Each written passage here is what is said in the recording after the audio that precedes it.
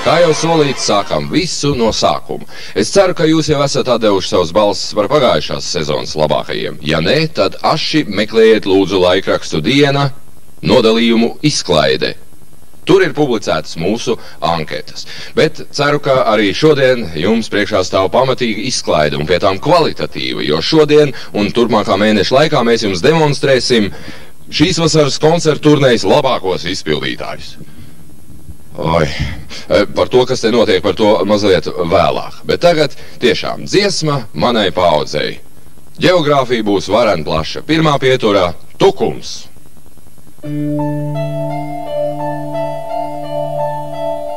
Ci ogni giorno cui non dormo pensi a te Sto tibio caso col silenzio per amico Mentre giù. L'aspetto qui vicino al fuoco. In quest'inverno c'è qualcosa che non va. Della vita.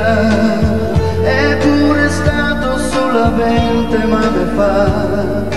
Steriamo che non sia finita come vorrei, vorrei che tu mi amassi a modo mio che questa sera troppo triste, troppo male senza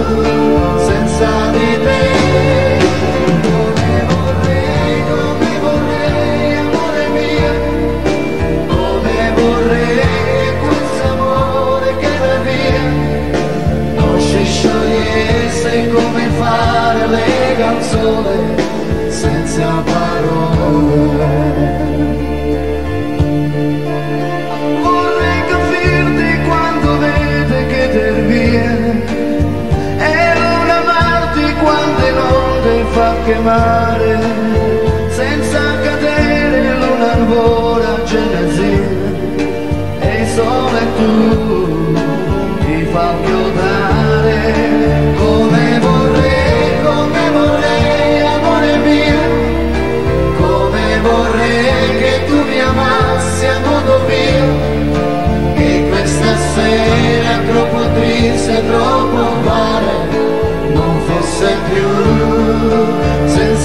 Amen.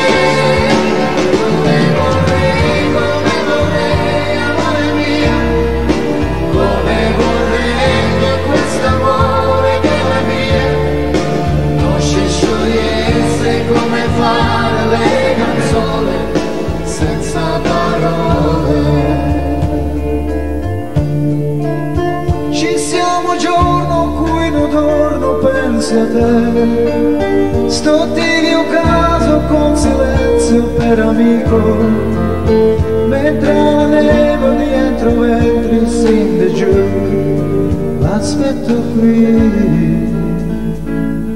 Stare vicino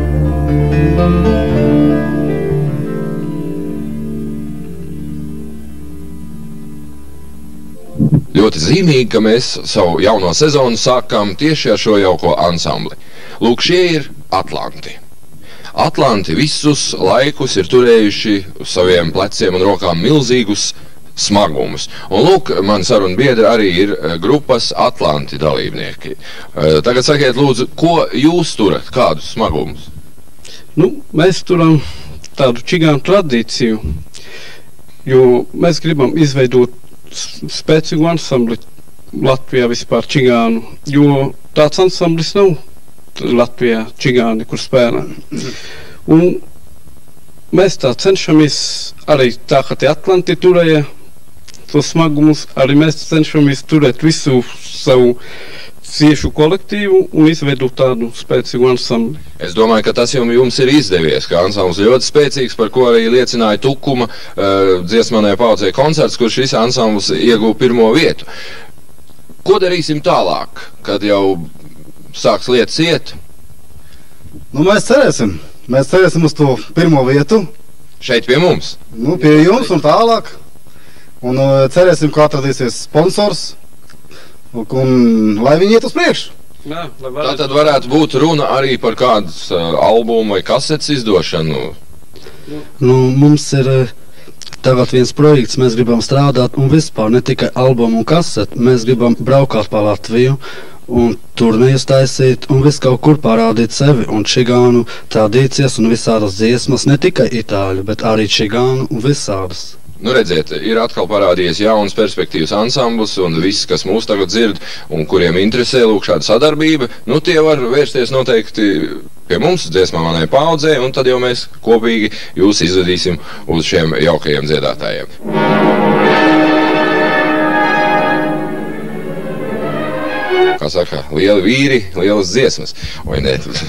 es uzkāpšu tomēr, lai man nav mazvērtības komplekss. Jo, mm, nu, Gunārs tiešām ir spēcīgs vīrs un labi spēcīgi arī dzied. Jo, jo, nu kā tāda. Un dzied par sev ļoti tuvām tēmām, vai ne? Jā, tā viņš ir. Nu, kas tad tā tēma ir? Nu, tie tie paši forši uh, šoferi un, un, un tur vēl šis tas. Un mašīnas. Nu, kā tad? Un pa kādai meitenei arī trāpās, ne? Dēļ pat tām meitenēm tur tā mazāk tā runāšana bija. Nu, bet, uh, nu, tur jau skaidrs, ko šoferis domā rulētā. Tā saka, cits jautājums.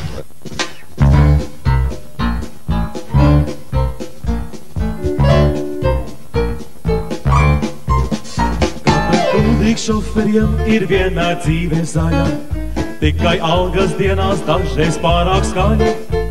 Kad polša vienšā dziesma plūst, no visas krūst, no visas krūst, dod pār kloķiem, lai tā vecā būdaru. Ak, nevar būt, nevar būt, tak nevar būt, tak nevar būt, kā par šoferi būt kuldīgā ir grūti. Tak nevar būt, nevar būt, tak nevar būt, tak nevar būt, kā par šoferi būt kuldīgā ir grūti.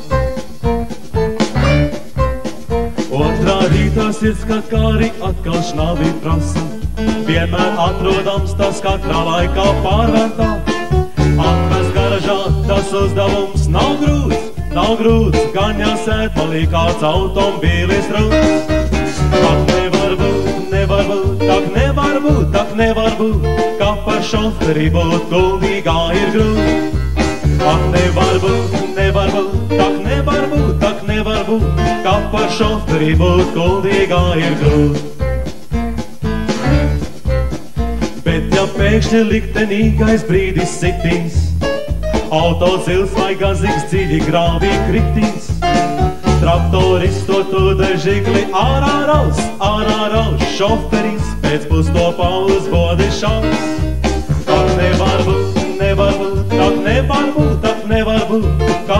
Šoferi būt kuldīgā ir grūti. Tak nevar būt, nevar būt, tak nevar būt, tak nevar būt, kā par šoferi būt kuldīgā ir grūti. Ak, Otrā rītā, kad pie priekšniecības galda Kafija bija brīžiem rūta, brīžiem salda Bet kad no turienes tu atkal ārā sprūd, ārā sprūd, dot par kloķiem, lai tā vecā būda rūts. Ak, nevar būt, nevar būt, tak nevar būt, tak nevar būt, kā par šoferi būt kuldīgā ir grūti. Ak, nevar būt, nevar būt, tak nevar būt, tak nevar būt, kā par šoferi būt kuldīgā ir grūti.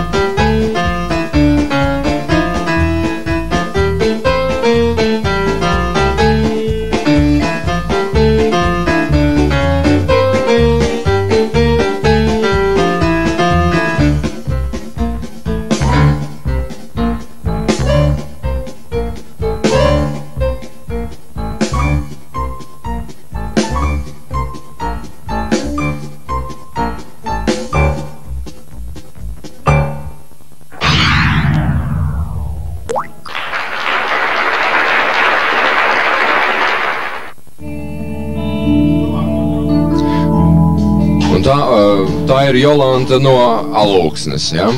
Tu dziedi ārkārtīgi skaistu dziesmu, ja? bet tādu ļoti senu un varbūt tavam vecumam nemaz nepiemērot. Kāpēc tu izvēlējies tieši to? Skatījos nošu grāmatā, visādas dziesmas tur bija. Spēlēju, iepatikās.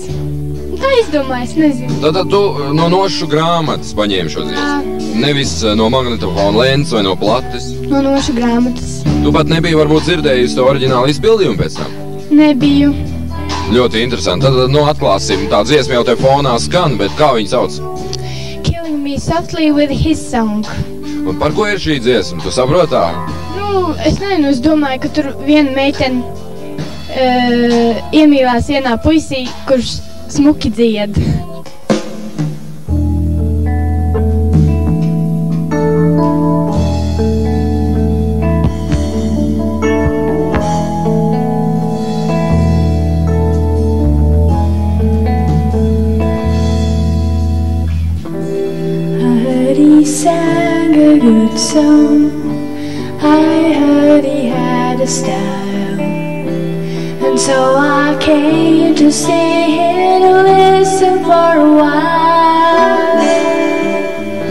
There he was, this young boy, a stranger to my eyes, drumming my band with his fingers, singing my life with his words, killing me softly with his song, killing me softly with his song, telling my whole life with his words, killing me softly with his song. I felt all slashed with fever, embarrassed by the crowd. I thought he found my letters and read each one out loud. I prayed that he would finish, but he just kept right on, strumming my band with his fingers, singing my life with his words, killing me softly with his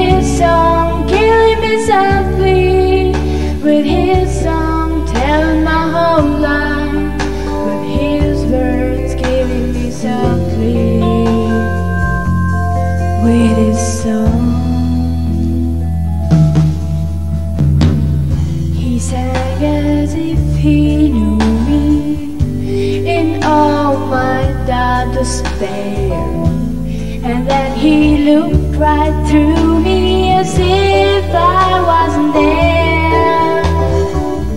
And he just kept on singing, singing clear and strong, strumming my back with his fingers, singing my life with his words, killing me softly